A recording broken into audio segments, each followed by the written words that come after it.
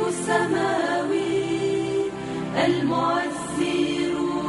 Patriarcado Latino de Jerusalém, a Diocese da Igreja Católica Romana na Cidade Santa, foi fundado em 1099, quando uma hierarquia latina foi instituída com a nomeação de um patriarca próprio. Há dois anos está a cargo de um árabe jordaniano, Dom Fuatual.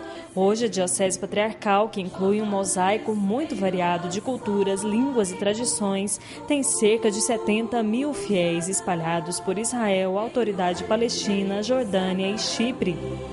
A Igreja Latina de Jerusalém possui várias escolas bíblicas e congregações religiosas, quatro seminários e inúmeros peregrinos que vêm para rezar por nós.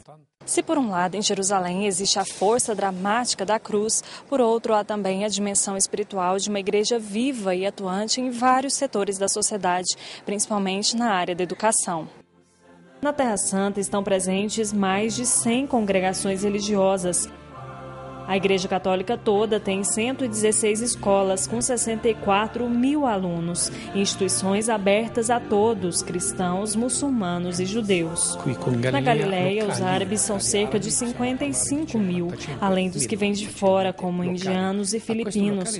Temos a emigração, que é uma hemorragia, mas, por outro lado, temos a imigração, pessoas que vêm para morar, o que aumenta o número de paroquianos. O desafio dessas comunidades comunidades cristãs é justamente o título do Sínodo, a comunhão e o testemunho. Somos diferentes pela cultura, origem, mas temos a mesma fé e temos de criar uma comunhão entre nós, buscar nas dificuldades e na diversidade dar testemunho de Cristo ressuscitado.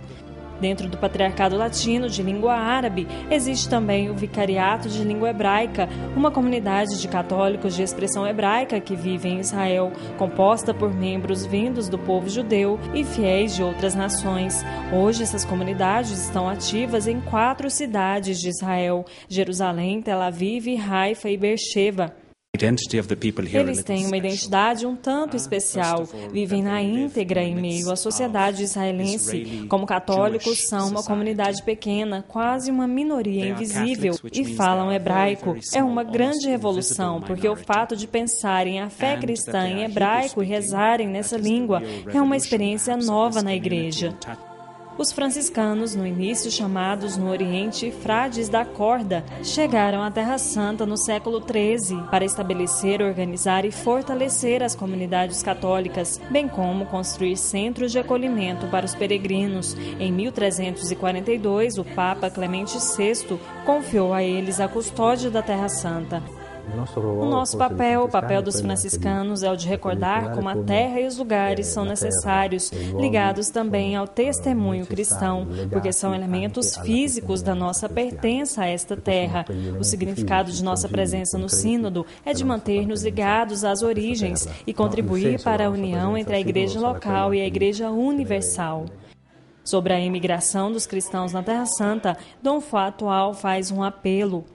Essa hemorragia que machuca a todos nós, a Igreja da Terra Santa, é uma perda para o cristianismo no mundo. Se por causa da situação política e econômica eles saem, eu digo paciência.